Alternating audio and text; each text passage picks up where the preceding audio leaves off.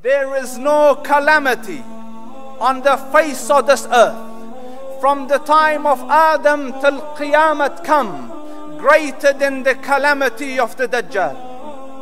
And there wasn't a prophet that came and accepted he came and warned his people about him. And in another hadith, and Noah warned his people about him. Noah, at the like very early in human history, at that time Noah warned his people about this calamity of the Dajjal.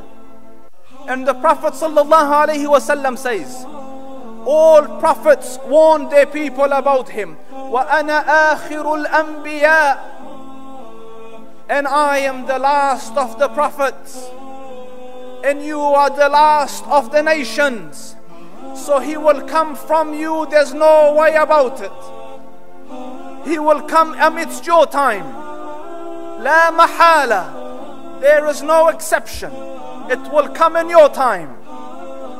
And then he says, لرحمة المهدى that if he comes وأنا بين أظهركم and I am amidst you then I will suffice him on your behalf I will fight him on your behalf. If I am here and he comes leave him to me. But if he comes and I'm not here then I leave you to Allah and Allah Rabbul Izzah will be your caretaker. And in another hadith, the Prophet sallallahu alaihi wasallam says, From the time of Adam until Qiyamah, no Amr has come greater than that of the Dajjal. The Dajjal will shake Iman to its core. He will come, look at the calamity. There will be a river of water and a river of fire. And subhanallah, before he comes, three years will happen like this. And the first year, Allah Rabbul Izzah will order the sky to hold back a third of its rain. So a third of the water of the rain will be held back. And the second year, two thirds will be held back. And the third year, there will be no rain. So a drought and famine has already gripped mankind. And then this man comes, the Dajjal. With him, a river of fire and a river of water and he enters into a village amidst the people and he says, Do you believe in me? I am your Lord. And when they believe, he tells the sky, Rain, and rain comes.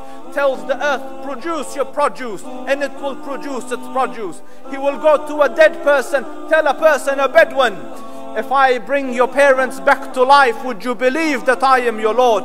He will say yes. He says, Rise. And two shayateen will come in the image of his parents and will say, Son, listen to him. He's your Lord. Do you see Iman is shaken to its core? How do you not believe your eyes? He will tell the earth, spit out your treasures. The hadith says, like, like bees, gold and silver and diamonds will come out of the ground and follow him. It's difficult times. At this instance, only Iman will see you through. Listen carefully, Muslims. All the faculties and information gathering tools that you have will be deceived. The only thing that you will have left is your hearts. And it is important, and I insist regularly work on the hearts.